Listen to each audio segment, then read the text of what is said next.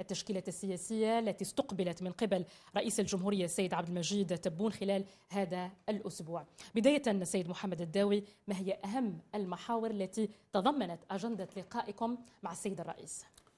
بسم الله الرحمن الرحيم. مرة ثانية شكرا الأخت ماجدة. شكرا لك. والتحية يعني موصولة للضيوف والإخوان اللي شاركونا هذا البلاطو ولكل مستمعي ومشاهدي قناة النهار.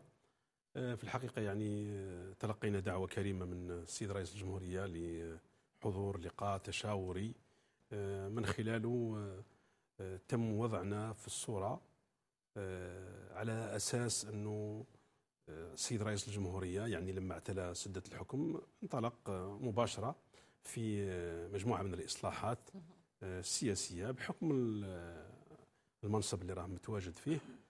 ومباشرة يعني كانت يعني الصعوبة اللي كنا عايشينها في ذلك الوقت هي قضية الكورونا. كنا قضية مازال يعني الأمور جديدة. فمباشرة انطلق في تعديل الدستور باعتباره يعني أهم كانت أولى الورشات التي انطلق فيها السيد نعم. الرئيس. والدستور يعني مثل ما يشهد الجميع أنه القى يعني أو حظي ب استشارة واسعة لفئات يعني عديدة في في المجتمع وخرجنا في النهاية يعني بدستور مهما مهما يقال عنه خرجنا بدستور فوت عليه جزء من الشعب الجزائري وهذاك الشيء اللي نال 66% من من ثقة الجزائريين. أيضا الرئيس قال أنه دخلت في إصلاحات أخرى ابتداء بالقانون الوضعي لأنه قطع على نفسه كعهد أنه يحل المجلس الشعبي الوطني وحتى يعني انتخابات تشريعية ومحلية. مسبقة. قانون الانتخابات أيضا حظي باستشارة أقل من الاستشارة اللي حظي بها الدستور. على الأقل أنه شاركت في استشاره الأحزاب السياسية. سياسية. وفيه بعض الإصلاحات اللي يتكلم عليها في القانون تكلم عليها السيد الرئيس. جاءت في قانون القانون القانون العضوي للانتخابات. قال يعني على الأقل طريقة التشطيب وطريقة القائمة المفتوحة. آه، تخلصنا من قضية رأس القائمة وشراء القوائم والمال الفاسد. أو غير الفاسد يعني شراء الذم شراء الذمم لم يعد يعني له وجود في القانون في القانون الجديد. أيضا آه، آه، تكلم كثير السيد الرئيس في كثير من القضايا ولكن إحنا أيضا من جانبنا يعني كأمين عام لحزب الكرامة حملنا يعني ما جيناش غير نسمعوا جينا أيضا نطرحوا قضايا ذات بعد وطني وذات بعد جهوي آه، وهذا يعني تماشيا ووفاء للأمانة اللي, اللي نحملها تكلمنا في خلال هذا الموضوع تكلمنا على التقسيم الإداري الجديد اللي شهدته البلاد على الأقل في في في الجنوب.